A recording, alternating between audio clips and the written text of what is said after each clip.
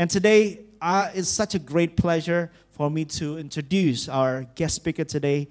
And Brad, he's a handsome dude. Uh, he's an amazing man of God. He has been preaching and blessed so many men. He's preaching men's conferences um, in Australia, and, and you are going to be blessed today. And he came with his amazing son, Blaze, and uh, you are going to um, receive. And I want you to open your heart, I want you to open your mind so that God will speak to us. So, why don't we just give the warmest welcome for Brad Paterson.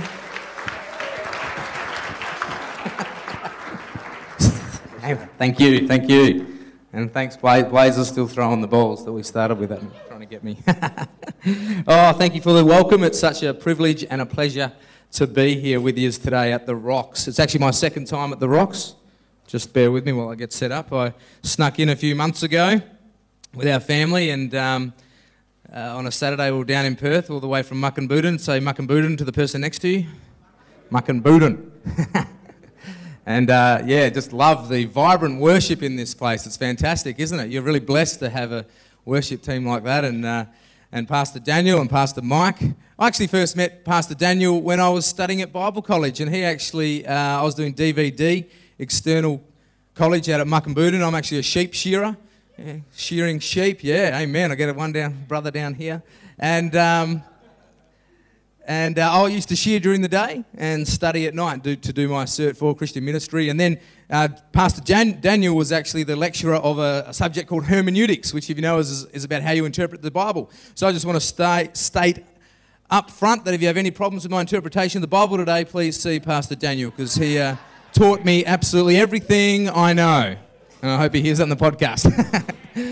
um, so if you go to my little slideshow there, my family couldn't be here with us, all, all, all, our family, but that's my wife Sky, and I've got three kids Blaze, seven, Chloe coming up five, and Shakira coming up three. And you know, that means I had like three kids, five and under. Has anyone ever done that? I'm always, yeah. I'm looking for survivors out there. Come on, there's got to be some survivors, some hope, light at the end of the tunnel. It's crazy. And um, I met my wife when I was shearing down south at a, a pub uh, called Jerramungup at a town there at the pub there, and she was a beautiful barmaid that was pouring some fantastic beer at the time, and I was a, a thirsty shearer that came in after shearing my sheep, and, and we just we seemed to connect, and ever since it's just been that chemistry. no, she's the love of my life, and she would love to be here today, but she's praying for us at this time and believing for uh, really good things in God today. And um, so that's a bit about me and the Mukinbudin Church of Christ um, which is where I grew up in Mukinbudin. And um, my great grandpa was actually the first pioneer settler in Mucka. There it is there. So Mukinbudin's about 300 kilometres sort of northeast, only a little bit northeast of Perth. It's sort of halfway to Kalgoorlie. It's what they call in the middle of nowhere. And uh, that's where we live. And uh, yeah, my great grandpa, one of the first pioneer settlers there. And um, so, you know, you walk downtown, you're related to everyone. You want to know what you're doing tomorrow, just ask someone, they'll tell you. And uh, and I love Mucka, and I've had the privilege as a 10 year old. We had a travelling evangelist by the name of Glenn Weeks who would sing the gospel and preach the gospel. And he came through our town and he, he spoke and sung at the Mukinbudin Church of Christ. And you know, as a 10 year old, I remember hearing the gospel, what we've sung about tonight for the first time, understanding that Jesus Christ loves me so much that he died on that cross for my sin and that I could be forgiven and find life in him. And as a 10 year old, I came forward at that meeting when he said, Anyone want to receive Jesus? Don't receive a religion, but receive the person of Jesus Christ. And I came forward that night, and I remember to this day giving my life to Jesus at the altar at that altar where one day I'd actually eventually senior pastor the church, which I did a, a, few years ago, and it was such an honour and privilege to do pastoral ministry in the in the pulpit and the place that I first found life in Jesus. And uh, so I'm passionate about the local church. I love what you guys are doing here. I love your vision. I love where you're heading. I think it's exciting. I love, I really love your catch cry no perfect people allowed. I was going to say that's why my wife didn't actually come.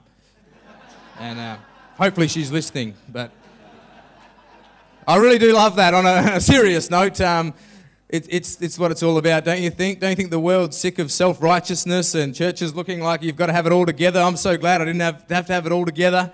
But Jesus said, just come as you are. He says, I did it all for you. The gospel is spelt D O N E. It's done. You're not what you do, but it's what He's done. Amen? Oh, I'm getting excited now. I've got to get into this message. Woo! So, in the time I've got left, I want to share with you what I would call my life message. And what I mean by that is this is a message that I, I lived today to get here.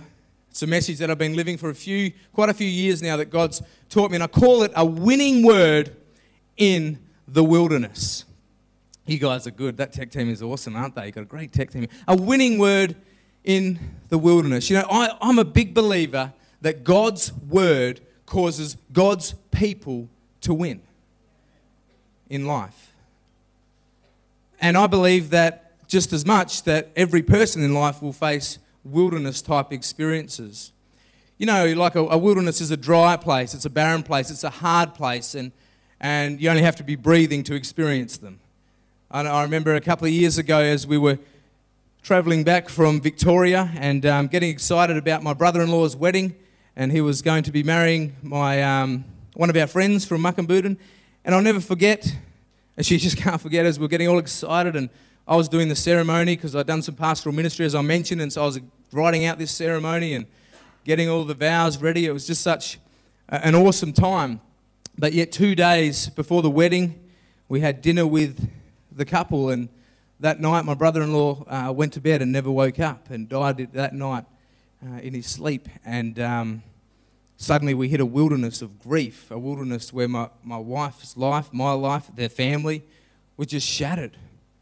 I remember, uh, I never forget February the 10th this year when I was out shearing and um, get a phone call from my wife saying, I think it was actually, sorry, it was actually from my mum saying, I think you should ring Sky. She's at the hospital with Blaze and they're doing some blood tests. I think you should come and uh, check, see what's going on. She sounds worried. And I said, Oh, there's nothing to worry about. And um, I'll never forget getting the phone call after him getting flown to the Royal Flying, on the Royal Flying Doctors all the way to PMH this year, February 10th, saying from the doctors that he'd been diagnosed with leukemia. And uh, suddenly your life hits a, a wilderness. And uh, my little champion sitting in the front row has just finished six months of chemotherapy and absolutely smashed it. And, um, and, and you just, you just, life happens. And, uh, you know, I like, what I really believe is this I believe that being a Christian doesn't disqualify you from adversity, but it does qualify you for victory.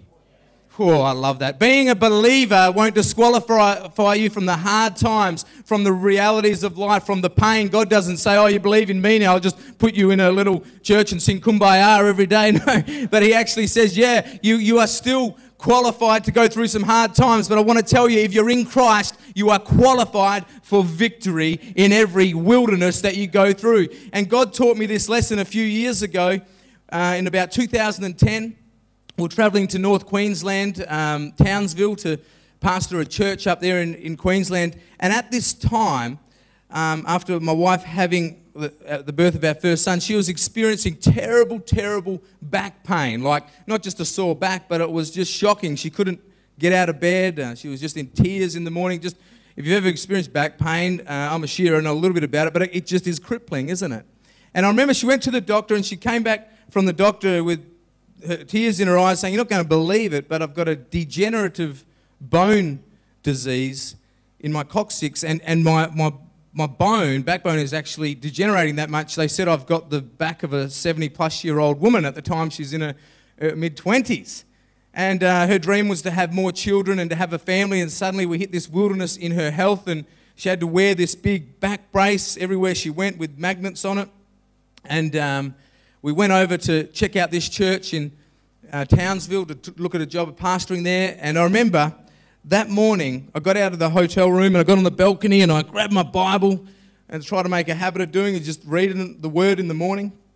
And you know, at that time, I was really saying, Lord, I just don't want to read your word. I, want to hear your voice.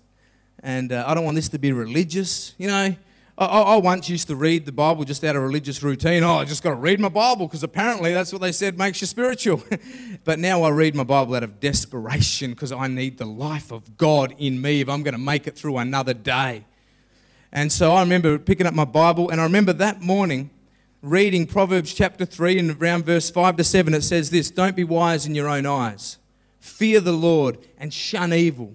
This will bring health to your body and nourishment to your bones. And you know, as I was sitting there reading it on my balcony, it was like, man, I think it's like God just spoke to me about our wilderness experience we're going through, about this hard place, about Sky's back. And it's like Jesus is just saying, I'm going to bring health to Sky's bones. So what I did was I got put my Bible down and I ran into the hotel room and I found Sky and I said, I've got this scripture, I'm going to pray this over your back. And I laid my hands on her back and prayed this verse and prayed over it. And you know, right then and there, absolutely nothing happened.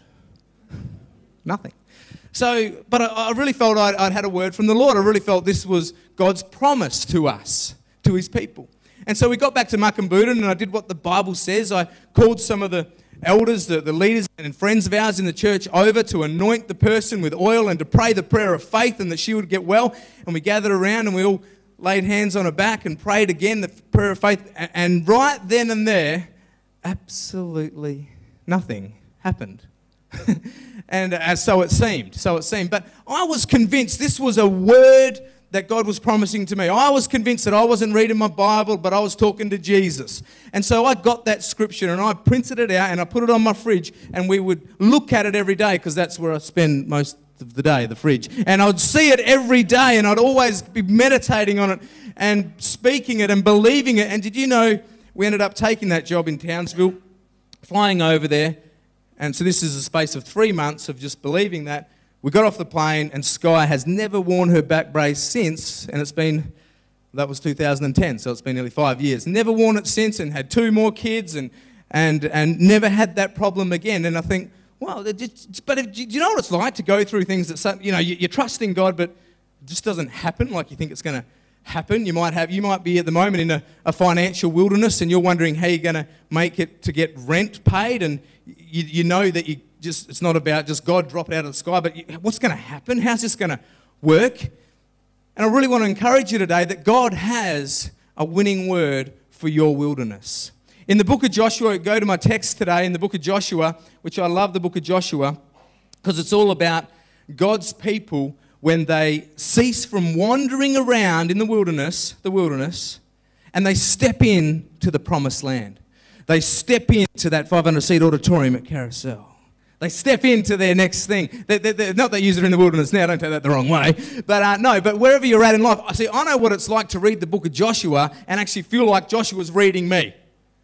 Because I know what it's like to get out of Egypt, which was the place of slavery and sin, the place where I was in bondage. I know what it's like to have Jesus forgive my sin, but yet still be wandering around the same issues, the same addiction, the same fears, the same problems, the same stuff. And suddenly my life just looks like every other person that doesn't believe in Jesus. You're just in a wilderness. But God's desire was not to stay in the wilderness, but that you'd be able to step in. And Joshua was the man to take on leading the people into the wilderness. Let me just read a bit of Bible because you're like, this guy even read the Bible? Does he even believe in it? What's going on, guys? This is what it says in Joshua chapter 1, verse 1. Have you got your Bibles there? It says this After the death of Moses, the servant of the Lord, it came to pass that the Lord spoke to Joshua the son of Nun, Moses' assistant, saying this Moses, my servant, is dead. Now therefore arise, go over this Jordan, you and all this people to the land which I am giving to them, to the children of Israel. Every place that the sole of your foot will tread upon, I love the language of God. Every place that your feet tread, I have given you. As I said to Moses, from the wilderness to the Lebanon, as far as the great river, the river Euphrates, all the land of the Hittites, and all the great sea toward the going of the down of the sun. This is a lot of territory. This is a uh, this is a vast place. Shall be your territory. See, God's got big plans, hasn't He? He hasn't just got a 500 seat auditorium. He's got a whole city. He's got a whole area. He's saying every place you go at your work, when you're getting your haircut, when you're in the shops, every place when you're getting your lunch, or everywhere your foot goes. If they can smell your smelly feet, the kingdom of God's coming. Come on. And it says, This shall be your territory. It says, No man shall be able to stand against you before you, sorry, all the days of your life. As I was with Moses, so I will be with you. I will not leave you nor forsake you. Be strong and of good courage, for to this people you shall divide as an inheritance the land which I swore to their fathers to give them. Only be strong and very courageous, that you may observe to do according to all the law which Moses my servant commanded you. Stay with me. Do not turn from it. He's about to tell them something very important. Do not turn from it to the left or to the right, right or the left, that you may prosper wherever you go. And then I love this. Chap, verse 8, this is the key verse that I want to take you to today. He's saying, as you go into the promised land, he's saying, This book of the law, someone say the book of the law. The book of the law, the book of the law, the book of the law, the book of the law. This book of the law shall not depart from your mouth, but you shall meditate in it day and night, that you may observe to do according to all that is written in it. For then you'll make your way prosperous, and then you'll have good success. I just want to settle on that verse. Then you'll have good success. As they're going in to where God would have them go, as they're going from the wilderness to the promise, I want to tell you the timeless truth is so simple yet so powerful as this. In that one verse, and I think it's on the next slide on its own, that one verse, it just says, This book of the law. And what is the book of the law? Let's go context of the day. The book of the law to the people then was, let's think about it, was God's word to God's people, wasn't it? That was what the book of the law was. I mean, it was the, all the other stuff that was involved in it. But in a nutshell, the timeless truth is this if you want to step out of your wilderness into the promises of God, I believe it's God's word has to be of utmost importance in your life. I believe it's God's word that will strengthen, sustain, and give you every success as you go forward. It won't be self help, it won't be the power of positive thinking, it'll be the power of the very word and the, of God and His promises to you as you go forward. Does that make sense? He's saying, My word is so important. Jesus put it this way in uh, Matthew chapter 4, verse 4. He said this Man does not live by bread alone, but man lives by every word that proceeds out of the mouth of God. That's saying that your life doesn't come from food. That's your, your, physical life, but your life comes from what God says. Your life doesn't come from what your boss says about you. Your life doesn't come from what your mates say about you. Your life doesn't come from anything else but by the preceding word of God. And that's why I'm passionate about this message and I'm about to give you some real good tools to go away with and to use, is because this has literally changed my life. And I've used these principles in every season of hardship, in every season of a wilderness, and they work in your life. God's word actually works. If you just want to be religious and read His Word because it doesn't, it's just all blah, blah, blah. But God's Word actually works when we say, Lord, what are you saying to me? So I want to give you this tonight just what He said in one verse the way to treat the winning Word of God. Are you ready? Number one, speak it. Someone say, speak it. The text says, do not let this book of the law, the Word of God, depart from your Facebook status. Sorry, don't let it depart from your fridge door. Don't let it depart from your thinking. No, it's saying don't let it depart from your, your mouth. From your mouth. There's something powerful about having the word of God coming out of their mouth, speaking the word of God out of their mouth. See, I believe if the devil can get the word of God out of your mouth, he can get the will of God out of your life. When you think of how they took on the book of Joshua, how they took on the promised land, their first city that they took over was Jericho.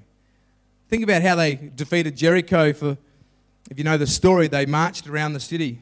Their military attack was nothing. They marched around it for six days, one time, and the seventh day, seven times.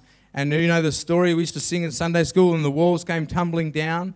How, how'd they come tumbling down? Just when they let out the roar, the shout of praise to God. Well, they just spoke out what God said to do. It just came out of their mouth. Even stepping into their promises, they needed to have the word of God in their mouth. And I'm telling you today, that's the same principle for us. If we want to go forward, I want to ask you what is coming out of your mouth because that wall around Jericho was threatened by the voices of the Israelites and the wall that you've got to break down, the issue that you've got in your life, the stronghold. See, Jericho was a place of sin, a sin city, and its walls were impenetrable. A bit like addictions and sinful things that we can get caught up in there. They seem impenetrable. You've tried this and you've tried that, but can I tell you, if you start speaking to your wall, you'll start to see a crack in it. You start speaking to it. I remember when with Sky's back, we just started speaking that verse every day. I just started saying, we fear, we fear the Lord and shun evil. We're not perfect, but we're trying to live for Jesus. And He's bringing health to our bodies and He's bringing nourishment to your bones. This back will, healed, be healed. And just started have the audacity to speak it, to speak it, to speak it. When you think about what God did in the beginning, it says, God said, Let there be light, and there was light. He created the world with His word. Your world could be the sum total of how you speak. You may be creating a world at work by the words you use. I know what it's like to work around people that don't want to be at work, and you can tell by what comes out of their mouth, and the atmosphere changes. That's why I love getting to have to get to church. That's why I have to be around faith-filled people because I want to hear the praises of God coming out of their mouth. I want to feel it lift my spirits.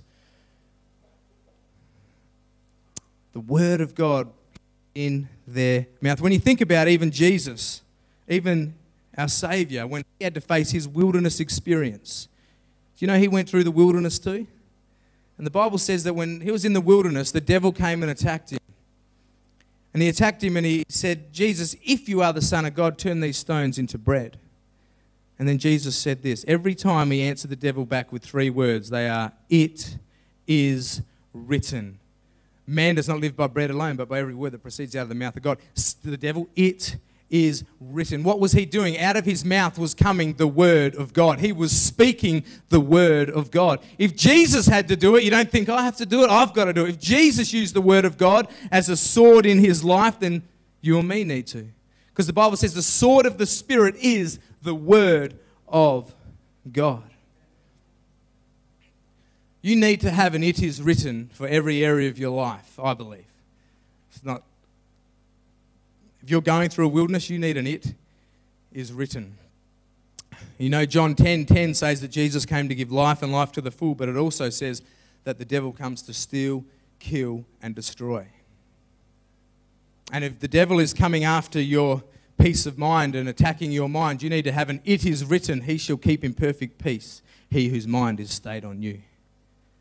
When the devil's coming at you and attacking you with fear and anxiety, you need to have, it is written, for God has not given me a spirit of fear, but a power, love, and a sound mind. When the devil's coming after your finances and says, You're never going to get out of debt, you need to have an it is written, You shall supply all my needs according to your riches in glory. I shall lend and not borrow. When the devil's coming after your kids, you need to have it is written, I have trained them in the way they will go, and when they're old, they will not depart from it.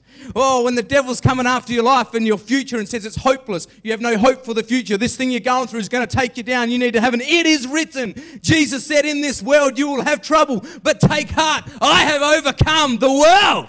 Yes, it is written.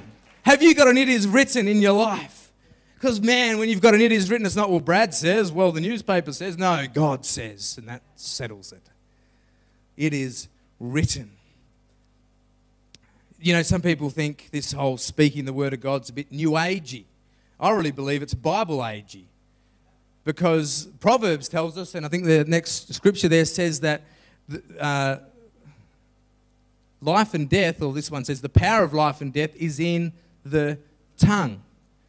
The power of life and death is in your tongue, in what you say. And I want to encourage you that you need to have an it is written. You need to be speaking the word of God, whatever you're going through, having it is written. I'm going to move on to my second point because I'll just, I mean, the next two are quick, but I just love that point. I just love speaking the word of God because I have seen it turn my anxiety into peace. No, uh, it's not my anxiety. You know, and Jesus took anxiety at the cross. You know, it doesn't belong to you. It's not my fear. Jesus took fear at the cross. Jesus took sickness at the cross. When eh, it's, it's done, I don't, eh, what belongs to me is what he gave to me, which is his righteousness and his prosperity, and everything that belongs to him now belongs to me. Thank you, Jesus. But the second thing to treat the word of God, don't, don't only speak it in your life, but soak in it. The next part of the scripture, in the point number two says, But you shall meditate. Someone say, meditate. You shall meditate on it day and night. That's why we put the word on the fridge. That's why you've got to be marinating in it. I like what the psalmist says. He says, I've hidden your word in my heart that I might not sin against you. See, if you can really meditate on something, I don't know if you're into meditation or not, but put your hand up if you've never, ever, ever worried. That's right. Worry is a form of meditation. We do it naturally. It's the, it's the wrong use of our imagination that God gave us is worry. Worry is the curse of imagination, I believe. But the right use of our imagination is to meditate on God's word, to meditate on God's promise. So we would just, I would go to work, I'd think upon this thing. The word meditate means to mutter to oneself, one of the meanings. It, it's self talk. You know, you're not crazy if you talk to yourself. It's actually biblical to talk to yourself. You need to sometimes pull yourself in the corner and have a little coaching session and say, right, we need to get things sorted out. We need to start thinking differently. Meditation is about the where your heart's at. It's about what's going on on the inside. See, so often we're meditating and we're thinking and worrying about things that don't usually even happen. Whereas we should be meditating on what God is saying, what God is doing. If you squeeze an orange, you'll get orange juice. I'm pretty clever, aren't I? I'm a shearer. I'm a sheep shearer. I thought of that myself. If you put a Christian under pressure and squeeze them, you should get the Word of God you should get the Word of God. It, it'll stabilize you in your storm. The Word of God. We've got to learn to, to meditate on. You know, I'm not a big fan of flying. People say, Brad, such a man of faith, scared of flying. I'm like, I'm not scared of flying. I'm terrified of crashing. Anyway, I didn't like it. And I had to do a lot of flights to go to Townsville when we moved there. And I, and I held on to one quote while we were flying the airplane. And Smith Wigglesworth says this He says, I will not be moved by what I see. I will not be moved by what I feel, but I'll be moved by what I believe, and I believe God. So I'm on the plane. I'm like, all right, I'm going to do, oh, I'm not moved by what I see or feel. And I look over and I see these little, you know, people white knuckling it around me. They look like they've flown before. They've done heaps of flying. Why are they, why, what's wrong with them? What are they worried about? Uh, I'm, not, I'm not moved by what I see. And then suddenly you hit some turbulence and you're up and you're down. I'm not moved by what I feel. That's what life's like. But I'm moved by what I believe. Smith Wigglesworth said, What I believe is what moves me in life. So I just started repeating it and, and meditating on it. And what I did was I had a soaking word for the journey. And whatever journey you're in now, whether it's a hardship, a distress, or whatever, you need a soaking word that you soak in. So I just kept just believing. That, that's a biblical word. It's a quote, but it's a good biblical word for me. It's not out of the Bible, but it's what the Bible's saying. And I'd be like, I'm not moved by what I see. I'm not moved by what I feel. Lord, I'm moved by what I believe, Lord. And I believe that you're with me. I believe that you hold me in the palm of your hand. And I believe even if this plane crashes, everyone else will die, but I won't. I'm going to live. no, I didn't really think that. I didn't really think that. But I was, Lord, I just, I'm not going to think about that. Someone once said, Your life is the sum total of your thoughts. Joyce Meyer puts it this way where the mind goes, the man follows. She says, set your mind and keep it set. Can I encourage you today? Soak in the Word of God. Let it marinate in you. And I'm going to finish on this last point to move along. And it's this point here, which is to step out on the Word. You've got to speak it. He's saying, Joshua, speak it. Then he's saying, soak in it. But then he says in the last part of the verse that you may observe to do according to all that is written in it. He's saying, Joshua, I don't want it just to be in your mouth and in your mind. I want it to get into your movement. I, I, I, want my word, what I say, to get into how you live your life. I want you to be obedient. I want you to do what the word says. You know, James talks about don't just be mere hearers of the word but, and so deceive yourself, but be a doer of the word. And my little quote there it's not just about knowing scripture, but it's actually about obeying a savior. I really pray that you can take that away from this message today, that it's not just about, oh, yeah, good, good message. We should uh, learn the Bible, do my memory verses. It's more than that. It's actually, it's actually wanting to get that word in you so much because you know your life depends on it. I know my kids' life depends on it. You know, as these winter months come around in Mukinbudin, we've got a wood fireplace, and as the man of the house, it's my job to make sure that that house is warm, that there's wood burning, that that, that my kids are, are warm. Otherwise, what happens is the cold comes in and the family gets sick. Everyone goes, yes. but it, the, the, the house gives an atmosphere to sickness. And I believe in the natural, so it is in the spiritual. As the man of the house, it's my responsibility to make sure that my house is warm with obedience to the Word of God that my kids know, yeah, we do go to church and we do love God. Yeah, we do read the Bible, we do pray, we do these things not because we're religious, but because we follow the living, living Jesus Christ who rose from the dead and walked straight into our lives. And that's what I want you to get out of today that, that it's about stepping out and doing it. You, you, God's goal is more than just getting it in your head and giving you great theology, but it's about giving you great experiences in life. It's an adventure with Jesus, isn't it?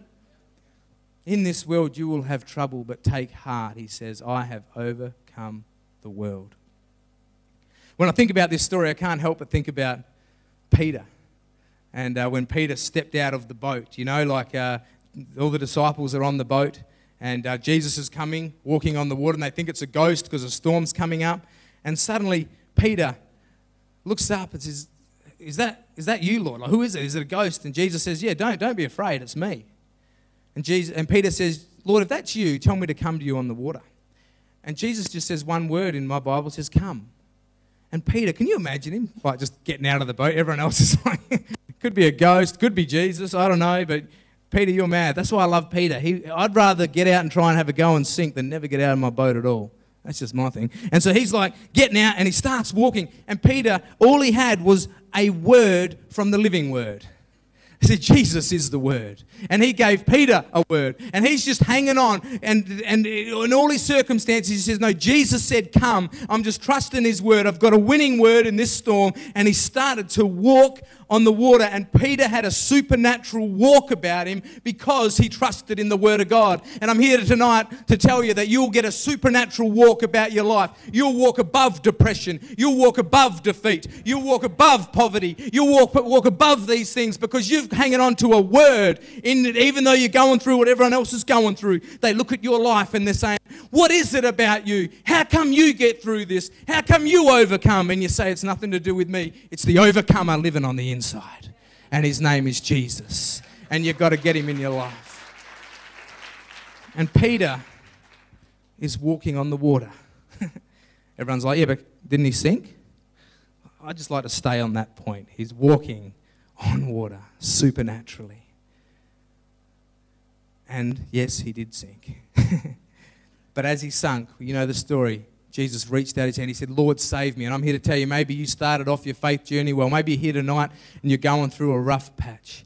Maybe you're here tonight and things are getting a bit sinky. Maybe you started off, you heard Jesus, and you were once on fire for the Lord. Maybe you're here tonight and you're bound by sin. Maybe you're here tonight and you don't know Jesus at all. I don't know where you're at, my friend, but I do know this. Whether you're sinking or you're getting out of the boat for the first time, Jesus says the same thing Come, come. And if you're starting to sink, he said, his hand is right there to catch you. His hand is right there for you. Whatever you're going through tonight, His hand is right there. And He's not looking at you with eyes of judgment. He's not looking at you with eyes of religiosity, but He's looking at you with eyes of love. And He's looking at you tonight and He's saying, I just love you.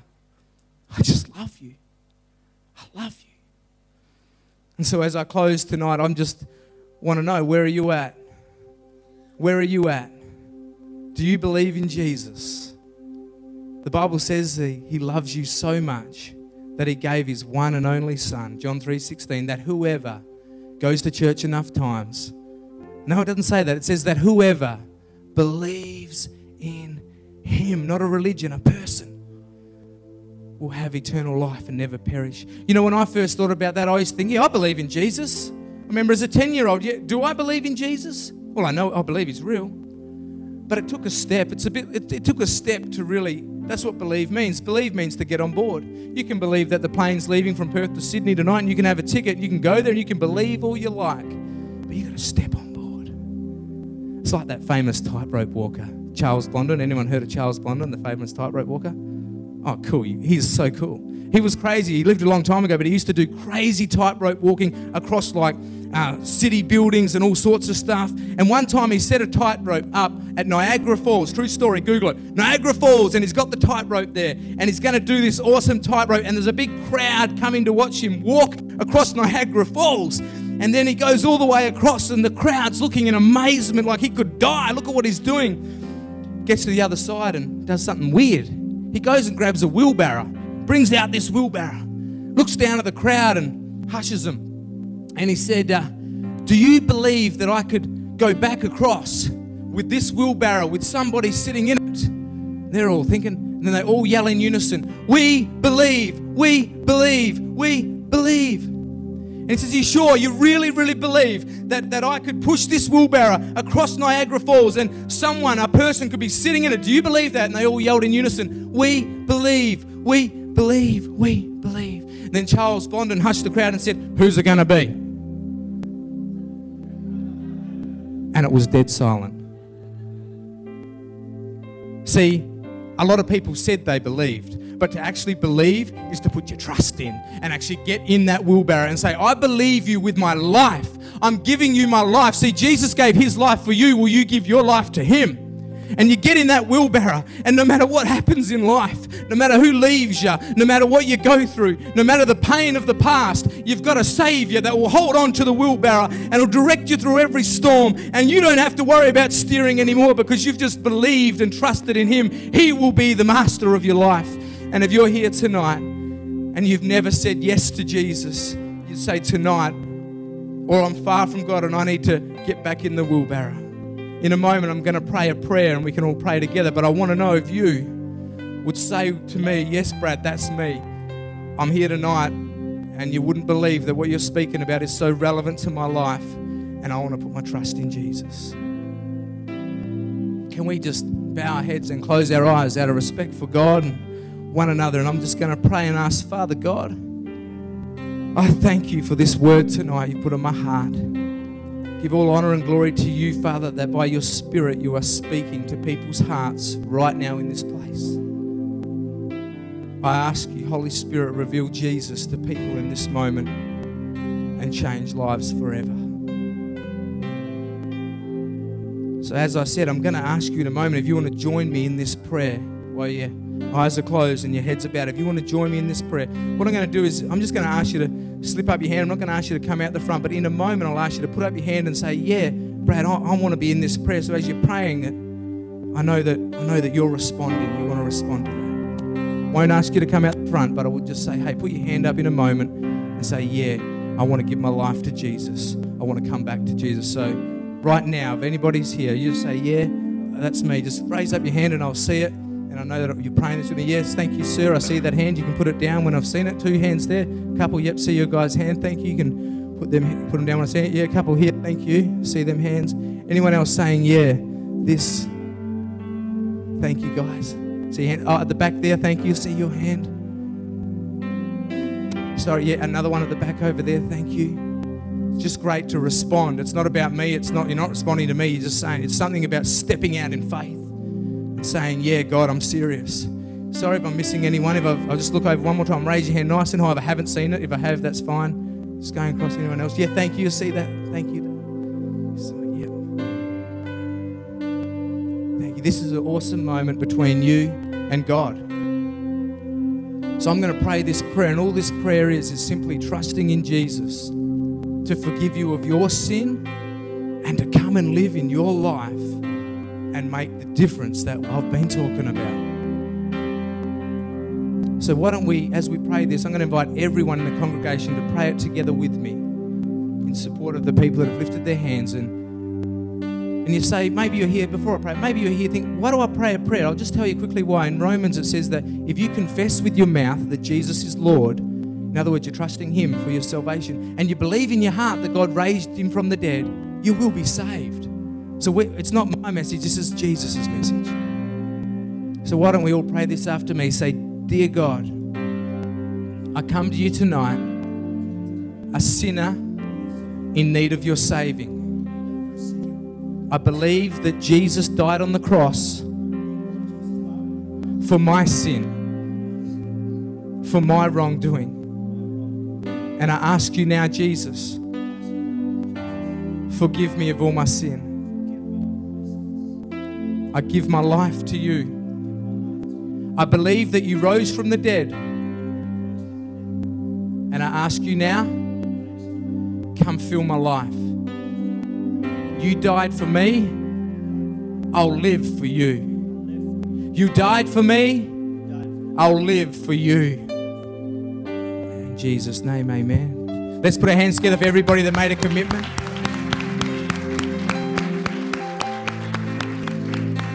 And be- before I hand back to Pastor Mike, I just want to encourage you put up your hand and you'd say, It's between you and God. Like I said, He's done it all. But if you want to come down to the front after, if you put up your hand and just want me or Pastor Mike to pray with you or talk with you through anything, um, I'd be honoured to. I'd be honoured to. Because what I'm here for and what it's all about is not great sermon. It's not about this. It's actually about you connecting with Jesus. It's about seeing God make a real difference in real life because I've discovered that's the only thing worth hanging on to. Yeah. It's been such an honor. Thanks for having me. God bless you. Wow.